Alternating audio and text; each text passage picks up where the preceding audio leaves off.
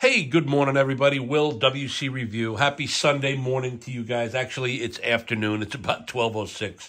But, uh, hey, I wanted to give out some content today, uh, put out some content today um, regarding a couple of knives that I just acquired. Um, very excited. So, basically, this is the knife that I have and have had for a while.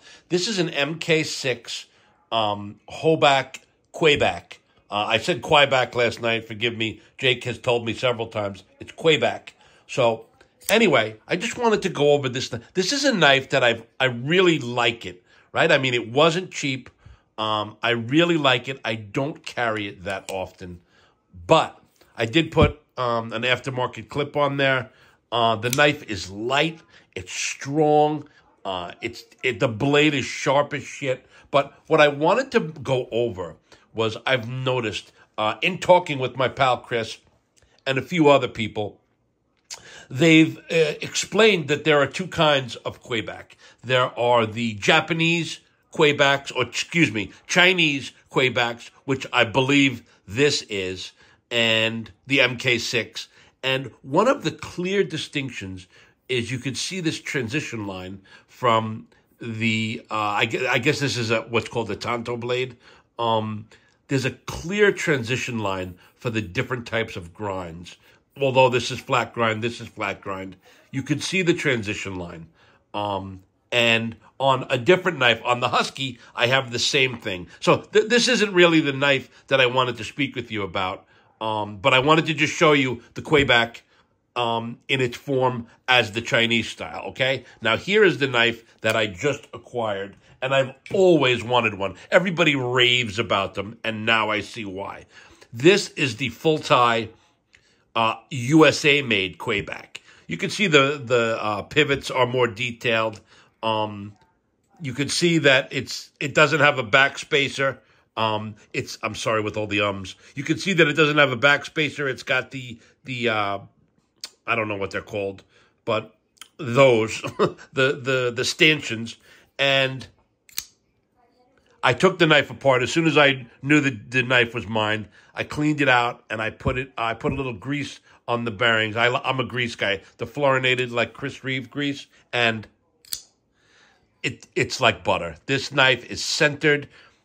There's no blade play. It's very sharp and to the point. Let me see if I can put them both in frame.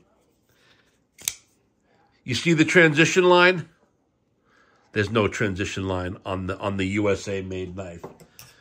And I have another knife I can show that to you on, but I just wanted to share. Let me back out a little bit. There we go. Yeah, that's a mistake. Room's a mess. Um,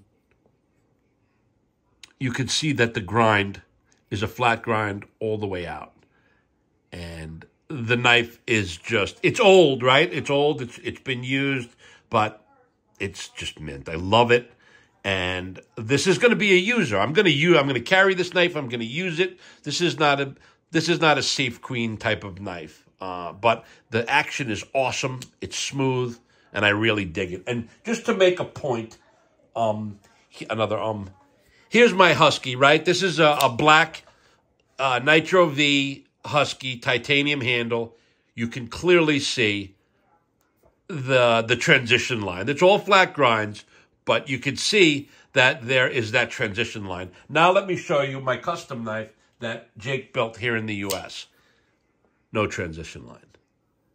So there is a clear distinction between Chinese knives and the American-made knives, and clearly the workmanship and craftsmanship is superior on the USA knives, hence the higher price, and the the reason why people go crazy for them.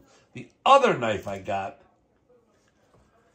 was the Centurion. I have I have another um, uh, Marauder H that I love, and I've always wanted uh, a, a titanium Marauder H. This happens to be the Centurion model. I mentioned that I didn't know what made it the Centurion model. So I looked it up, and Dirk uh, Werning has a great video that explains that each year uh, they have a group of people that come to this event that Greg uh, throws. I happen to be a Centurion member. Basically, if you go on the website and you you learn about how they make their knives and you take these tests and you pass them, you can become what's called the Centurion member. And it's it's just it's really cool and it, it's a great way to learn about Medford, about Medford knives, and about what goes into the making of them, and you know why they what what kind of uh, commands the price point that. Um, that they charge for these knives, which you'll you'll have a much better understanding if you watch it online. So anyway,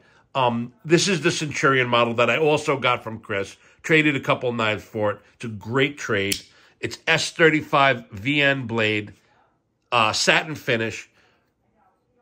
What do you call it? Flamed hardware. And if you look uh, at the end, you can't really see it, but that says Centurion in it. If you look at it close, it's a flamed popsicle stick um, uh, what's it called? A pocket clip, excuse me, losing my marbles here.